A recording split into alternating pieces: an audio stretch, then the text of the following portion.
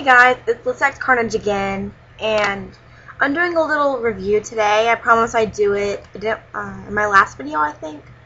So I'm going to review the CoverGirl Liquiline Blast matte, um, eyeliner, and I really like this eyeliner. Okay, so I've used it since this weekend, and it hasn't gone down much. Um, I'll do a little swatch for you.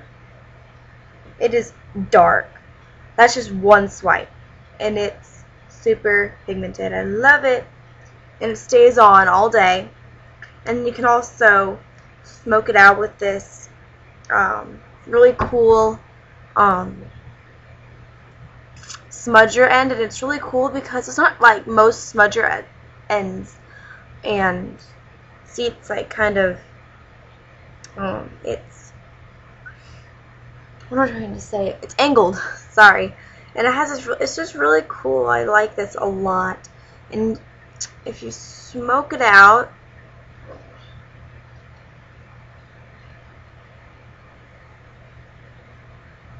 I mean, it's pretty awesome. Like that's that's it smoked out. So that's pretty good for smoke for smoked out.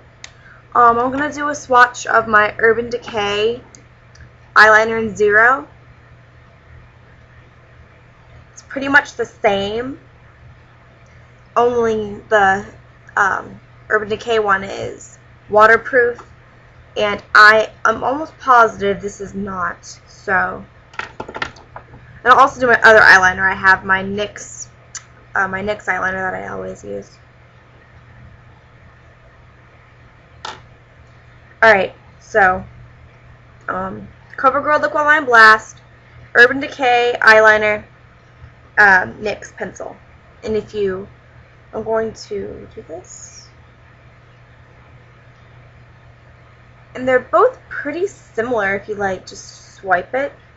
But I swiped it pretty hard. And, truth be told, it, uh, the NYX one is okay but I prefer the CoverGirl Liquiline Blast and my Urban Decay one. I will have to get a new one when I run out.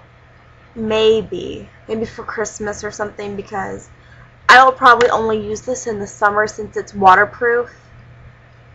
So,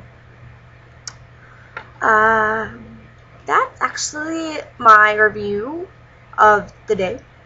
Should I do like review days or something?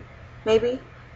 I don't know, but um, uh, comment if you, if you have any like ideas for like weekly things besides my weekly favorites.